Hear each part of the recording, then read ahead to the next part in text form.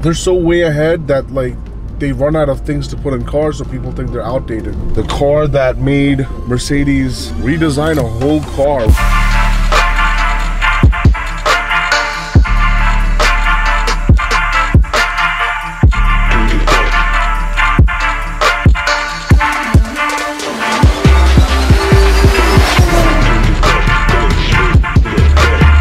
What's up guys and welcome back. Today we're to be reviewing my LS400 by Lexus. The car that made Mercedes redesign a whole car, whole whole generation of S-Class. So uh, yeah, let's get into it.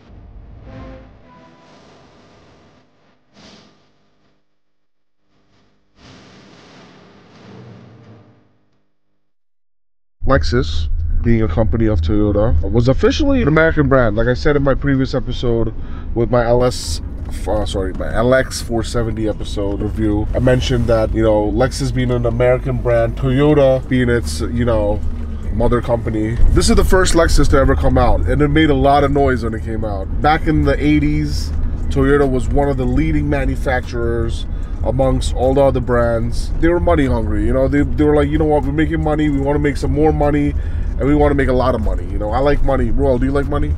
So even Toyota were like, yo, we like money, you know, we want to make more money. So they're like, let's make another brand. What other way to make more money is start our own, uh, you know, luxury uh, car brand when you already have a big factory and, you know, you're already manufacturing cars, you know, let's just throw a premium brand on it, maybe give it some more premium parts, basically make more money. And this LS400, being the first Lexus to come out, what they did was they sent their research team all the way out to California, uh, various areas of California, down in the LA area, Malibu, the posh places, you know, like Long Beach, all these places. They had their, you know, research team living there to see what you know, people who could afford these luxury cars drove, what kind of features they liked. You know, the research team got back to Japan. They were like, yo, these guys are big lazy They love big cars, big V8s, big spongy soft seats. That's when they came up with this car, the LS400. You know, Lexus comes out, make a lot of noise. Uh, they keep it on the low, low. You know, they're like, we don't want people to know that we're coming out with a luxury brand. So once they got their, you know, research from their team, they went ahead and developed a car and then they drove it on the autobahn and it was like badged as a Toyota so no one really like cared. That's the thing like they even went far enough to go to uh, manufacturers and make their employees like they went to Chevy factories and Ford factories and they even got manufacturer other manufacturers staff to sit in this car blindfolded and then sit in like a Mercedes or like some other counter brand and, and everyone thought this was a German car. You know, they didn't. They would never think that this was a Japanese car. So, including their own staff. So uh, it was crazy. I used to own a W140. The Mercedes W140 was a competitor, direct competitor to this car. Believe it or not. Remember my 140? Remember how comfy was it was? now, can I ask you a question? What's more comfier? Now that you think about it probably this, right? Yeah, so I remember my 140 being wider than this, but the comfort-wise, I feel like, whoa, as you can see, it just eats up the bumps, you know? Comfort-wise, I feel like this is definitely, I don't want to say better than a 140, probably subpar to it, like, you know, right right next to it when it comes to it. So this car was direct competitor to the W140 Mercedes S-Class. Mr. Bruno Sacco designed the, the W140 everyone thought it was like the state of the art like car at the time you know? For example i used to always think you know a few of my buddies when i bought it they're like oh you got the best mercedes. It's the most expensive mercedes ever made. You know mercedes spent one billion dollars on the r&d for this car. And i used to be like wow you know they spent so much money on this car. I guess it shows you know the technology the way it drives and everything. And then i drove this and I was like, wow, this drives really similar, if not better. Mercedes spent a lot of money. There's a reason why Mercedes spent a lot of money. Mercedes was already $500 million into the project and then Lexus went ahead and launched this car or you know gave out hints that they're launching a luxury brand so Mercedes had to go back and redo their whole research and development on you know the 140 just so it could be anywhere as close to this so that's why it was you know about one billion dollars you know the LS400 being the flagship car of Lexus and Toyota at the time, and obviously launching the brand really nicely. You know, it, it, had a really good response. So a lot of people, you know, wanted to get their hands on the Lexus when it came out. So they sold, they, they did pretty good at numbers because it was probably like I want to say twenty, thirty thousand dollars cheaper compared to like your S Class or your Seven Series. You know, Audi. I didn't think they had an A8 back then. This car was legit launched for Americans. You know, like it's got the big V8 big comfy seats, the, all the luxury features you need. Real easy to use features as well and real reliable, just like an uh, American car, I guess you could say. So, and really easy to work on as well. So Lexus went ahead and fit this with the, you know, 1UZ V8. It's a 4 liter, uh, makes about 250 horsepower, 350 NMF torque. So it's pretty good engine, you know, made more torque than horsepower. It had that low end pull, you know. You didn't really have to step on the gas to move this thing because this is a pretty heavy car. And the gear changes are so seamless, like you don't even notice it. It's so smooth. It's nothing crazy. It's just a normal four speed with overdrive, you know. It's not like a dual clutch or a ZF or something. Normal torque converter, you know, transmission, but it shifts so smooth. You know, just like the 140, you know, it's, it's just so smooth. And I can definitely say this is the direct competition to the 140. Nothing less, just because it's a Japanese brand. If anything, I feel like this is a little more luxurious than the W140, especially because leather seats were standard in this. You know, a lot of features were standard in this compared to like the Mercedes or any other German cars. You know, the V8 was standard. Of course, in America, the S Class only came in a V8. So uh, yeah, this was standard V8. You know, a lot of features, like I said, leather seats. You got your sunroof. This is actually like pretty much a base model. Got the heated seats in the back, heated seats in the front. It even has a button to adjust your steering wheel, you know, right here. It even has a button to lower your seatbelt adjustment, you know, up and down. So they didn't leave any room for error, nothing for Americans to complain. Americans are big, lazy, me being one of them, you know. they even got belt adjusters, so you don't have to like turn around and, you know, pull it down and stuff. You know, you got your button right here. So, um, and obviously your memory seats. You know, it had all your luxury features that you would want need back then. Clean Toyota Corolla, but it's a government car. But still, what a clean example of the Toyota Corollas. I just appreciate. It. I feel like these cars are really gonna be collector's items one day because. Qualis. Yeah, bro. I mean, like you got to realize this is like a part of history in India. It was the first SUV to officially be launched in, in India by Toyota. Official. It was made in India. I think they sold a million of them. I know. I don't know. They sold a lot of them. Probably, I know they sold a lot of them. That's all. Okay. It's supposed to be an eight-seater, seven-seater, but you know how we are. We, I've seen like 16 people get out of one at once. So I, I think they're really going to be one one day. One day, not not anytime soon. I'm probably talking about like 2040.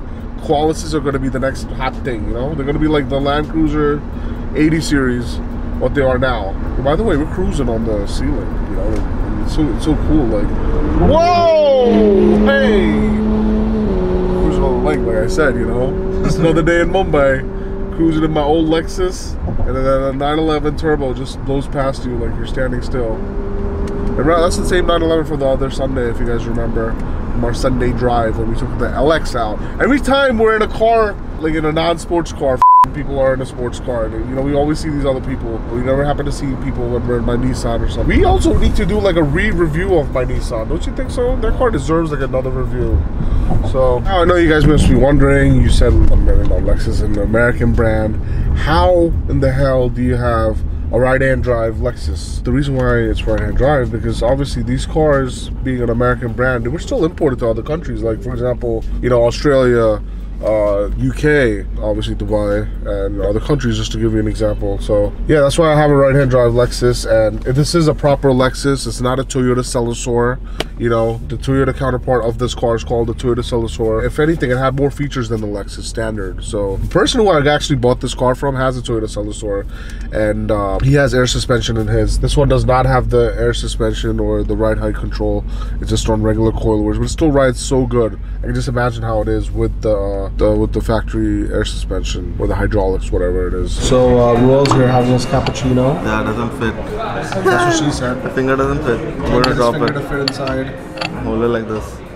Hold it like that. Oh, why don't you put it on the saucer? No, no, no, Come no. no. That's on. what chai. That's not. Come on, just do it. Not for- Cappuccino. We're changing the game up here. No, no, no. So we're here now at Kala Ghoda Cafe.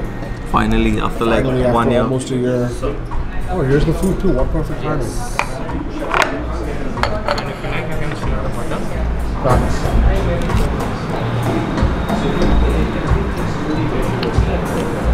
Another thing I want to mention, just like the S Class, this car is super quiet on the inside.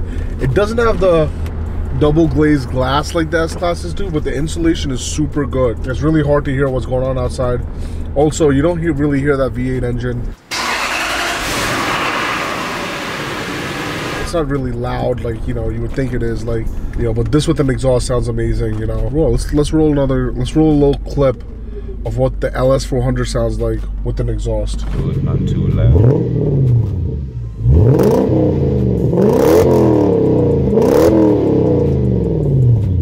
So we got our center display over here. You know, you got your Lexus premium sound system. You got your time. Over the years, you know, it's worn out a little bit. Climate control, but it's not dual zone, it's only single.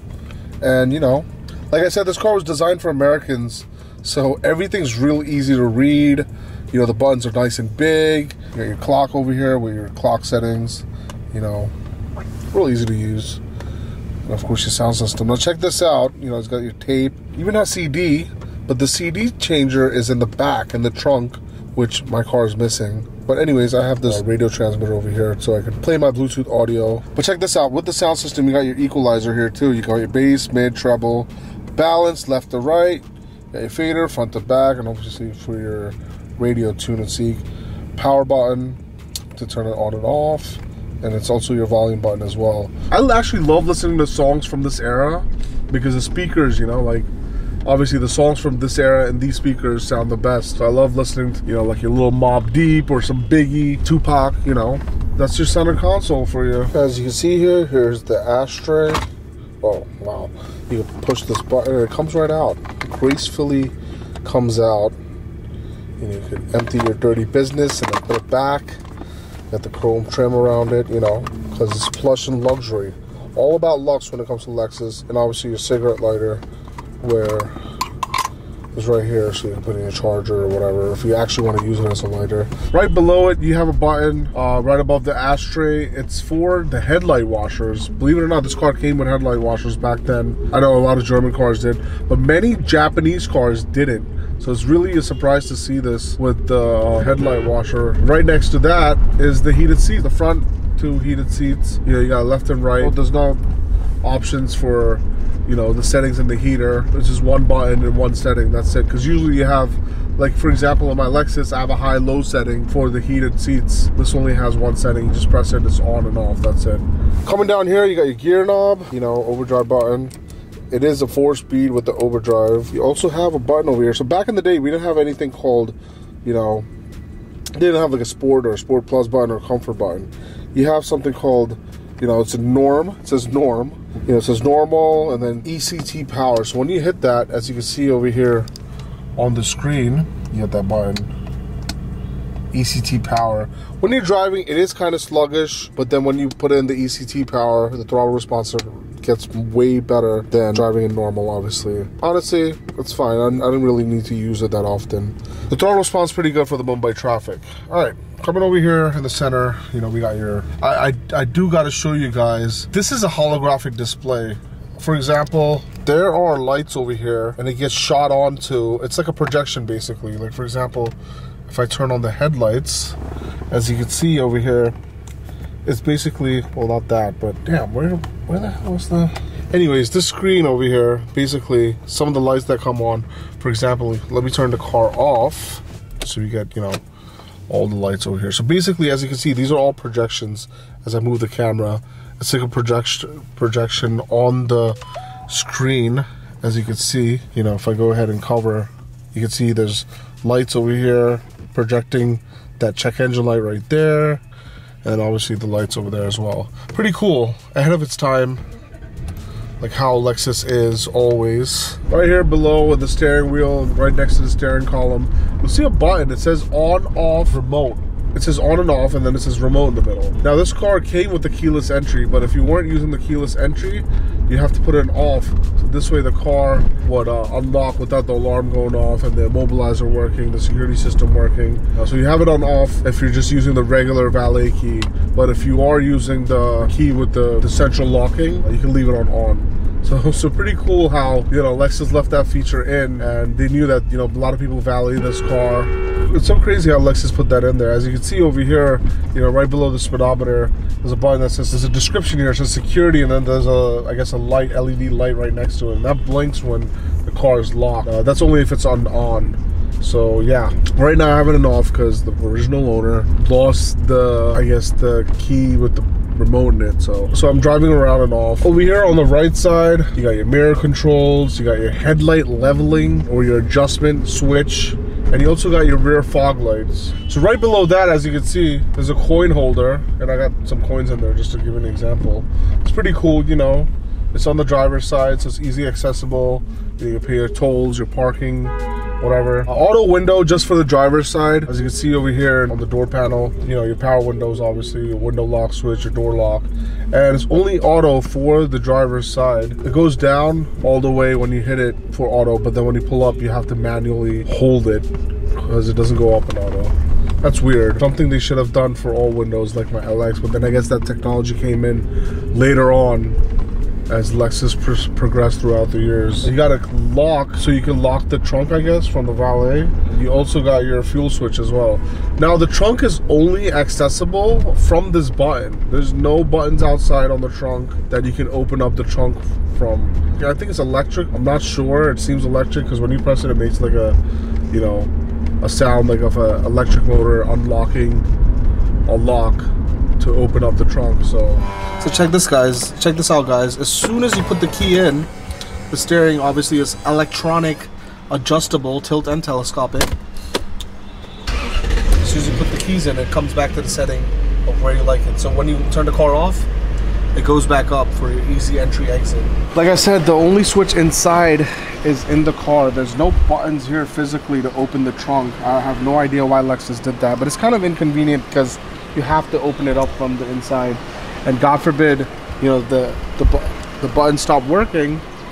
There's no there might be emergency you know button or a switch or a handle to open it. There's nothing on the inside i'll tell you that.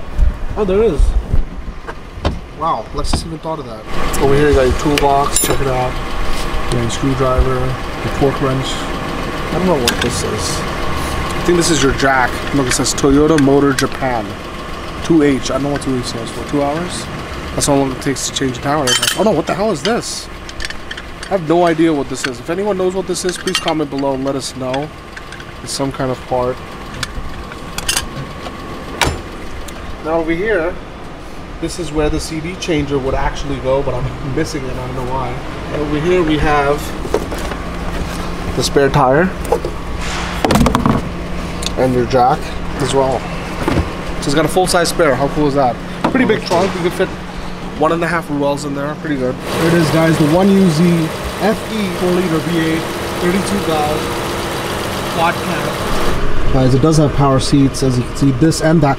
Both the sides power seats. You got your lumbar support. Obviously, you got your backrest, your you know your bottom portion over here as well. You got your backrest and your lumbar support as well. So both the sides power seats. Way ahead of its time, Lexus.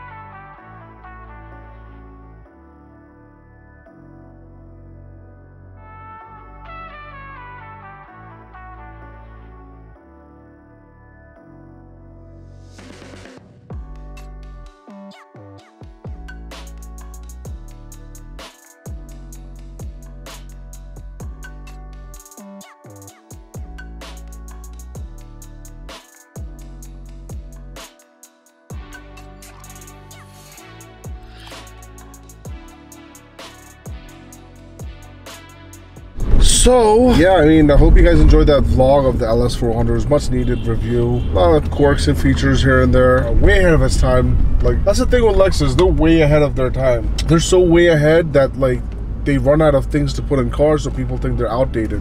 Like for example, the newer Lexuses. Yeah, it's true. The newer Lexuses has that big 12 inch screen, 13 inch screen up front. That came out back in 2012, you know? And now people look at it, they're like, oh, it's old. Those those cars were really advanced back in the day. And now it's just, the Germans are just killing it, you know? Especially Mercedes with their big screens, their, what is it called?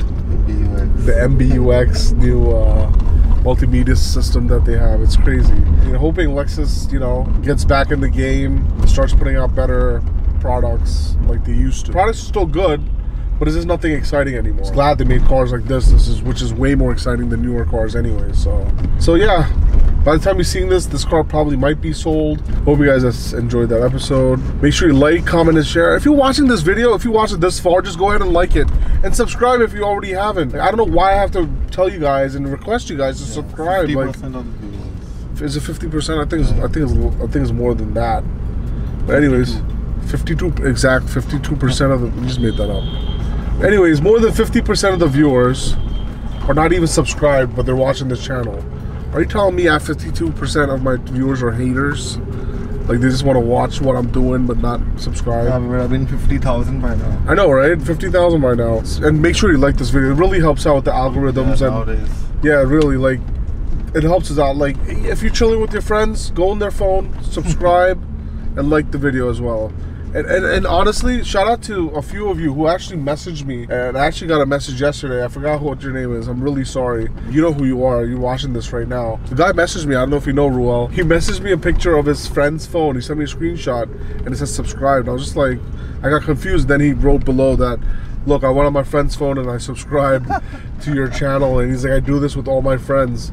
So that's great, man. We really appreciate it. So, you know, more likes, more subscriptions, open more doors for us, for me and Ruel. Put us on a bigger platform, help us out. You know, we get we'll get recognized by some manufacturers, so finally can do reviews of some new cars. You know, unless you guys want to, you know, keep hearing people yelling at the camera.